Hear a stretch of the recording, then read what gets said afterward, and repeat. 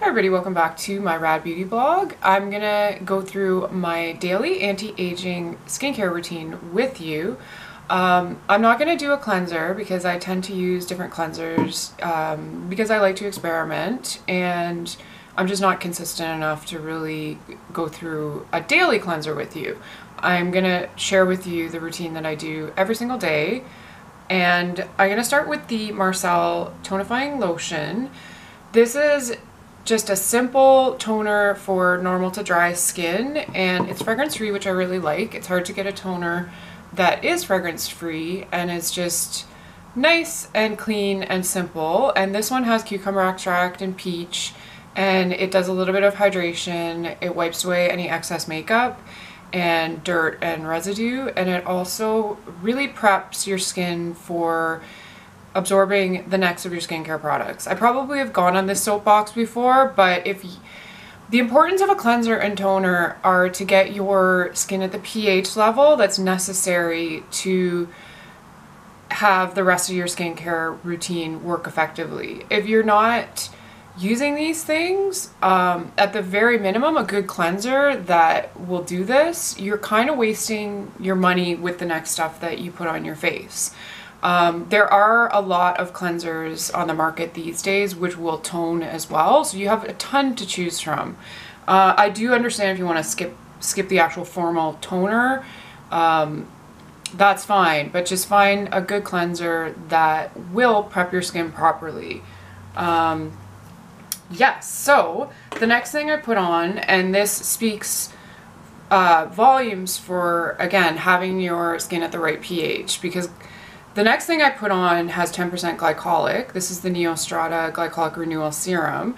And glycolic acid very specifically requires the right pH balance um, for, for it to work. Um, your skin is slightly acidic, and that's what you want for the glycolic acid to really, really do its thing and get in those pores and stimulate that collagen production. Uh, this one also has uh, antioxidants from hibiscus, which is a very high source of vitamin E, uh, which is a nice antioxidant. The There's still more research. The research I've read is a little bit uh, inconclusive, but it does look like there's a lot of studies that are showing hibiscus is a fantastic source for, you know, repairing that free radical damage. Uh, and I've worked my way up to the 10% glycolic, which means that my pore reduction is significant. My skin is super, super smooth, which again provides a fantastic platform for makeup.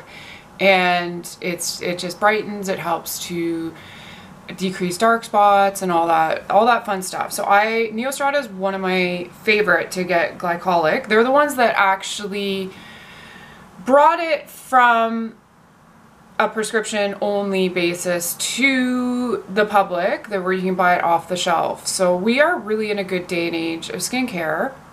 And I should say again, Neostrata in Canada is super different from Neostrata in the US. Uh, even the packaging. In the US, you'll find it in sort of the mass area of the mass produced skincare, which is very different. And I could go on a whole rant about retin A versus retinol and stuff like that. There are good cheaper skincare products, that's not what I'm saying, but there's a lot of low grade ingredients in many of the companies that are just the grab and go mass products. But anyways, continuing on, my eye cream is the Paula's Choice Resist and um, this one is really nice because it's got shea butter in it so it really really hydrates the area around the eyes which again, if you've ever tried to put concealer on a dry eye situation going on, you'll see that it's just a nightmare. Uh, gets so cakey and creasy. So this one provides a very, very nice hydration. Shea butter is like close to composition of our natural lipids. So our skin just recognizes it right away and soaks it up. It's one of my absolute favorite, favorite um, ingredients to use to hydrate. And it also has a ton of uh, peptides, it's got antioxidants, so it, it really helps fight wrinkles and, and plumps the area, which again, great for makeup. And then the last thing I put on is the Paula's Choice Moisture Boost uh, Broad Spectrum. um, sunscreen.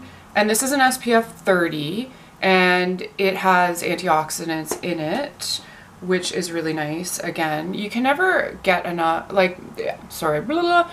toronto is a heavily polluted city and antioxidants really help to fight the damage that we do to our cells when we're in the sun when we're in pollution um, Avène, I went to the Avène training last night and they had this really incredible demonstration of taking a young, healthy skin skin sample and then exposing it to UV for two weeks, and it's just destroyed after. The collagen is just a piece of garbage, and then they they add um, retinaldehyde, which is a, a form of vitamin A, and it it fixes it. The cell is completely healthy in after the the trial.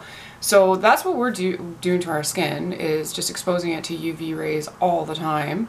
So that's my rant. Um, so it, antioxidants and sun protection are something that's very important to me.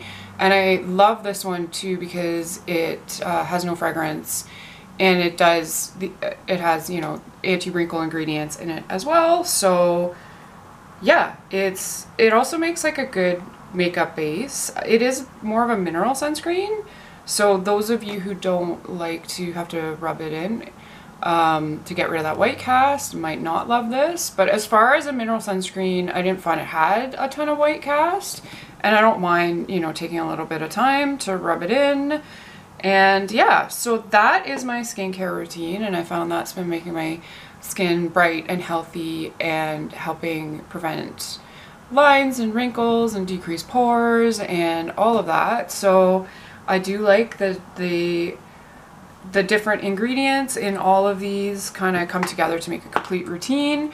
So I hope you found that helpful and I hope you're all having a fantastic day and please like this video and subscribe. Bye.